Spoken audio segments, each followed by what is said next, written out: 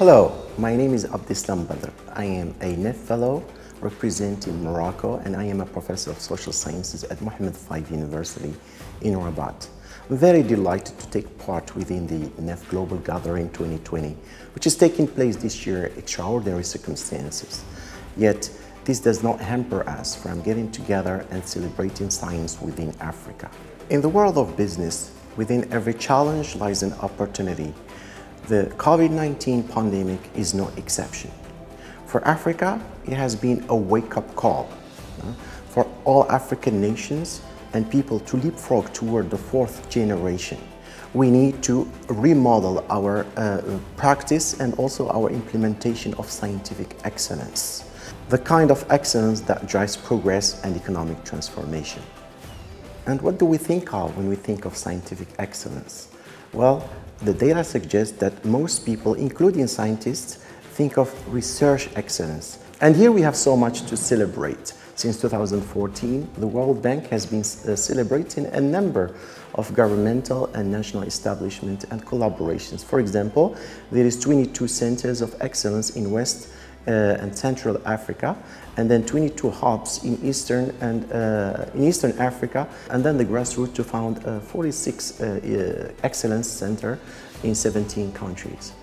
All these initiatives are great, however, they are not enough because they are not going to lead Africa where it needs to go.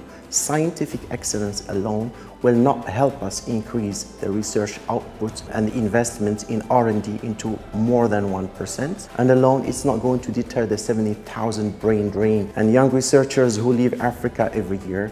And alone, it is not going to reduce the gender gap because women represent only 30% of the general scientists in all fields in Africa. And alone, it is not going to respond to the need of 11 million young people who graduate every year from the 54 countries within Africa. It is high time to start collectively devising our own model of scientific research and research excellence.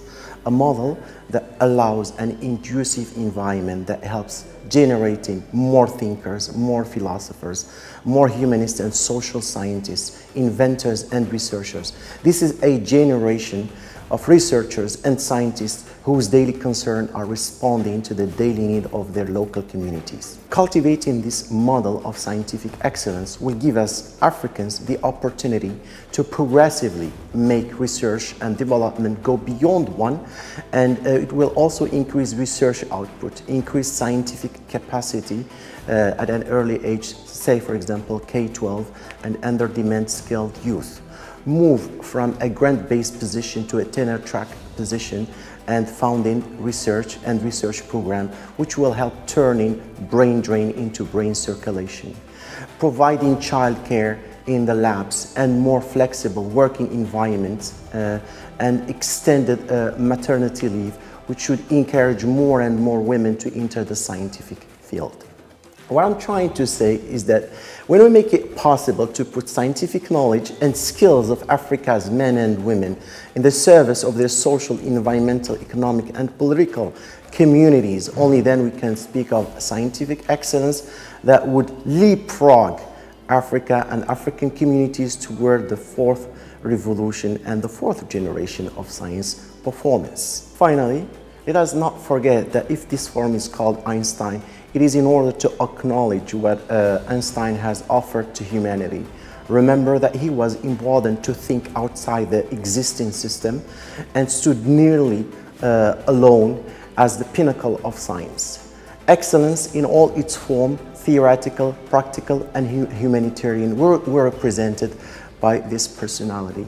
So let us be inspired by his spirit. Thank you very much.